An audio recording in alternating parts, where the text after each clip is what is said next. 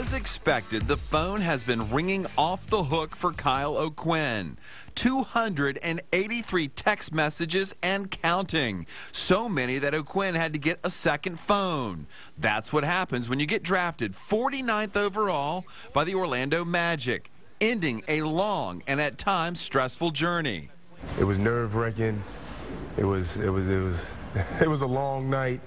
I mean, you see the picks go slowly, slowly, slowly, slowly, slowly. And to finally hear my name called at the end, it was just, whew, it's like everything you waited for was like, all right, it was well worth it then. The six foot nine inch O'Quinn worked out for 20 NBA teams, but not the Orlando Magic. He says being picked 49th overall is significant to Norfolk State University.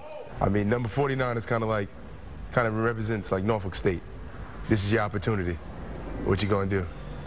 O'Quinn says all he wanted to do was see his parents' reaction on draft night, to make them proud. This coming from a kid who rarely played his junior year in high school and only had one scholarship offer after his senior season. No pressure in the basketball area. You got to think. I'm the most realistic kid ever. I'm not supposed to be here. I'm not supposed to be here. Played one year school basketball. I went to Norfolk State University. I'm not supposed to be here. Oh, O'Quinn is a late bloomer who earned everything every step of the way. He will leave for Orlando Sunday with modest expectations for his professional career. No goals, no expectations. I mean, real, real low. I mean, get in and stay in. That's my biggest thing right now. Get in, learn what you can. I'm starting at the bottom.